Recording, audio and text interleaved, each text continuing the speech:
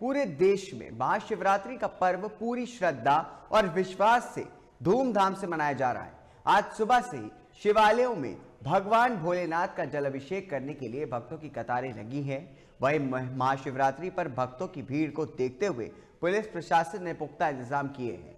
शिवरात्रि के पावन पर्व पर उज्जैन के महाकाल मंदिर में विशेष अभिषेक और श्रृंगार हुआ है। मेरठ के औदगनाथ मंदिर में अर्ध यात्री के से ही बाबा का दर्शन करने के लिए आस्था की कतार दूर दूर तक नज़र आ रही है। पूरा परिसर हर हर महादेव के उद्योग से गूंज रहा है। वहीं मंदिर में सुरक्षा व्यवस्था भी काफ़ी पुख्ता की गई है। मंदिर परिसर के बाहर काफ़ी संख्या में आरएएफ के जवान तैनात हैं। वाहनों को काफ़ी दूर पर ही रोका जा रहा है। किसी भी प्रकार के वाहनों की परिसर के आसपास तक कोई एंट्री नहीं है। पुलिस और प्रशासनिक अधिकारियों ने पूरी तरह से मोर्चा संभाला हुआ है। श्रद्धालुओं की सहायता के लिए आसपास शिविर लगाए गए